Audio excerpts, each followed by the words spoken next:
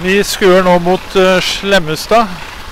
Der uh, vi, og vi, det er uh, reportasjebåten til Seilas som skal følge Ferderen. Den store reportasjebåten. Vi har en stor og en ribb ute som skal følge regattaen.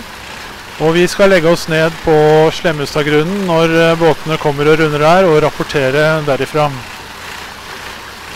Vinden blåser fra nord, nordøst, og det er seks, syv, åtte meter per sekund.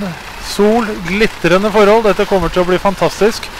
Og vi har allerede snakket med mange som har gledet seg og gleder seg til denne regattaen.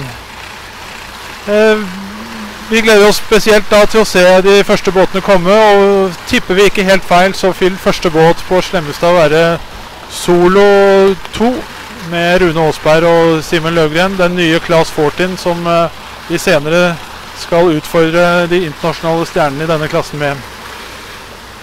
Dette er reportasjebåten vår. Vi skal følge regattaen, og vi har Jannicke her som står til rors og fører oss av gårde innover mot Oslo akkurat nå.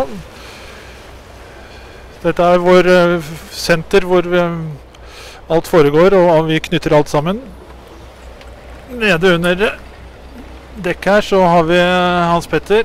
Han er nå inne for å sjekke trackingen til de seilerne som seiler turglede. De kan du jo se på nettet.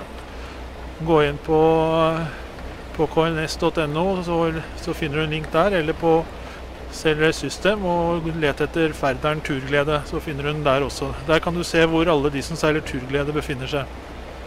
Og eh, på denne Mac-en her skal vi sende ut litt eh, bilder, tekster, video underveis. Og eh, så skal vi sove litt, håper vi. Kanskje ikke så mye, men litt. Og så kommer vi tilbake om en times tid når båtene runder nede på Slemmestad.